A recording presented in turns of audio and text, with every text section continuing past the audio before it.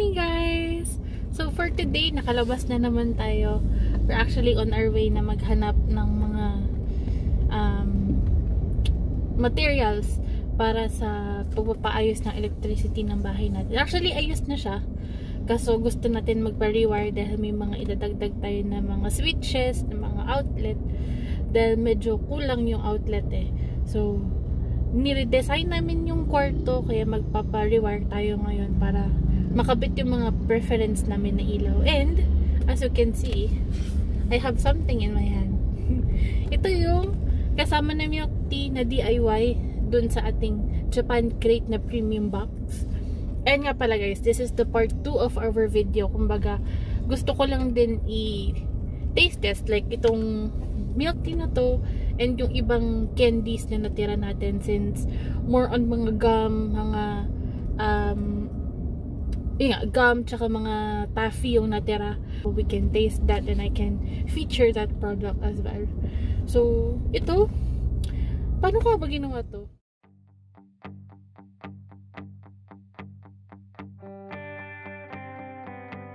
I said goodbye a thousand times. Every way I know how. I slammed every door and I walked out. I've been cut. So, yan.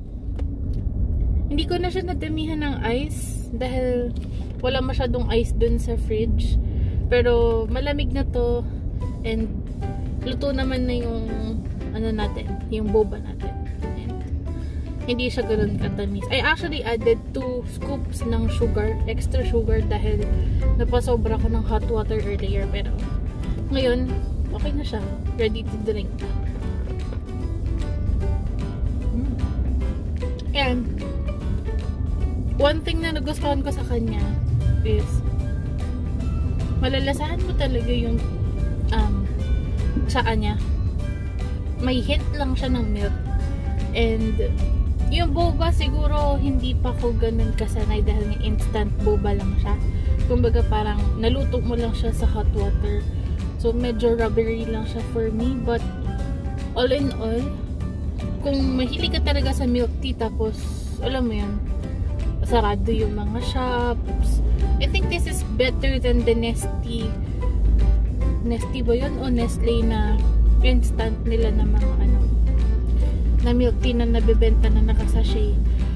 Um, this is much better knowing na Japan made talaga siya. And I guess ito na yung drink ko for uh, the whole morning. Since papunta na tayo on our way na tayo sa isang pinakamalapit na hardware sa atin dito.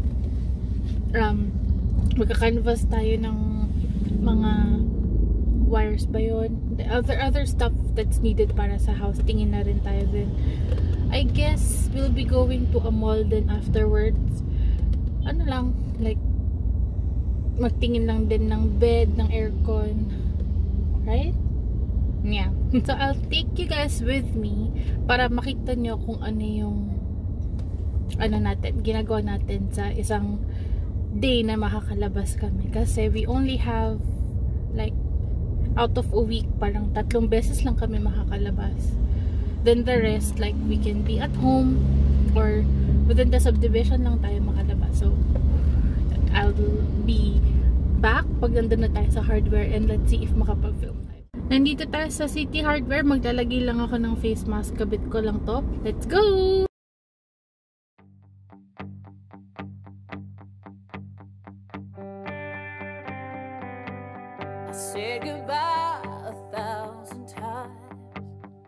Every way I know how.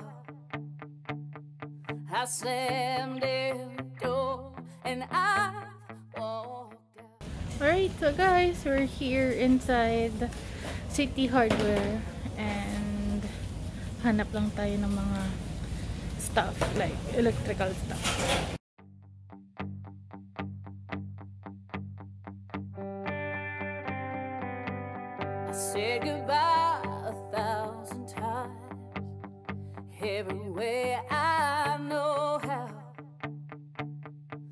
Slammed every door and I walked out.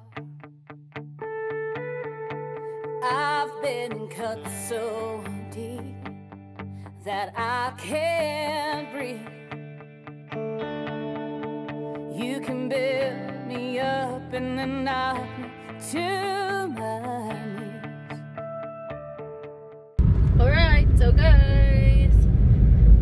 success tayo dun sa pinuntahan nating city. eh, City Hardware.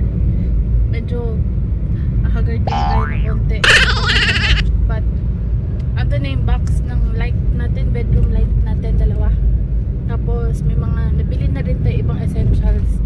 Like, yung hose na kailangan natin sa pag-clean ng bahay, mga cleaning stuff, mga detergents, gano'n, meron na din and a few electricity ano yung mga socket socket breaker para sa aircon natin meron na rin so gawa na lang ako ng unboxing and the unboxing. Gawa na lang ako guys of all na nabili natin sa City Hardware. And we're actually on our way papunta siguro ng Gaisa no na mall to check yung mga kailangan na talaga sa loob ng bahay like yung bed frame tapos yung aircon. Magtingin na rin tayo siguro para dahil uh, we really wanted na matapos na rin yung pag-iikot natin tas makalipat na rin dun sa house natin. So yeah we're on our way na. And siguro mag lunch na lang din kami later on dahil alas 11 na. Natagalan tayo sa loob namin yung ano kasi marami rin magaganda Ah, actually dalawa yung dalawa yung choices namin for the light kaso nung tinesting na yung isang ilaw hindi nila nagustuhan kaya napi, napunta kami dun sa isa which is mas mura naman yung light eh so di ba mas mas nakatipid tayo tas bagay pa dun sa motif ng room natin so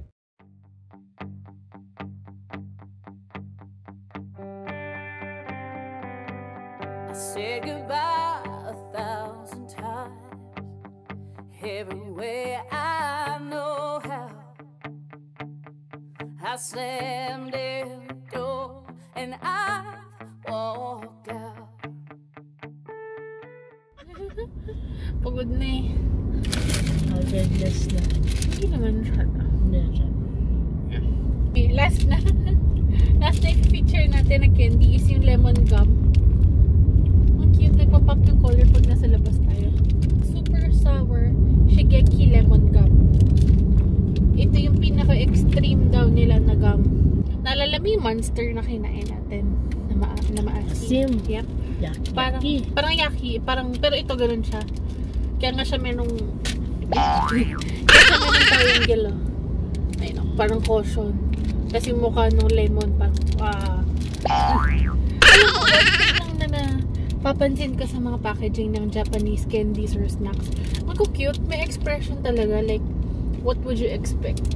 If it's spicy, para talagang namumula yung mukha nung mga characters. If it's sweet, parang cute-cute sila, kilig-kilig. Tapos pag ito, lemon na maasim, kita ba talaga sa mukha niya yung bad trip siya na maasim? na? Cute. So, tikman na natin to. Dami ko nang sinabi. Oo, ang ganda. Tao, gusto na malaman kung anong lasa nung ano. Eh? Ay, Oo. eksakto. Tag-isa tayo. Siya guys kasi naka-tray. Then, one gum is for one person. Oh, no. Oh. Mm, my God.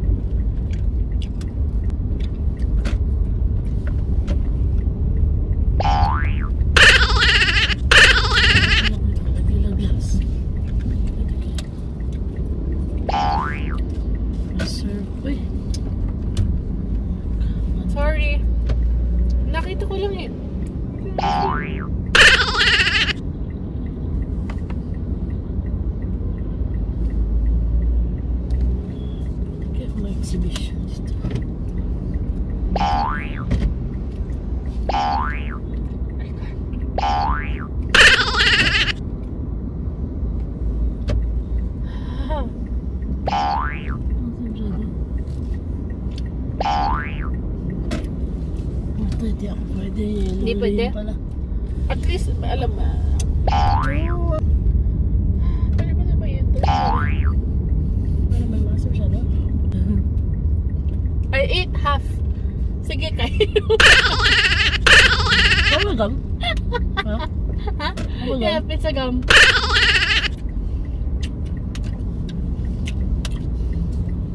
Ano siya reaction? Dahil ako maiyak-iyak na kanito.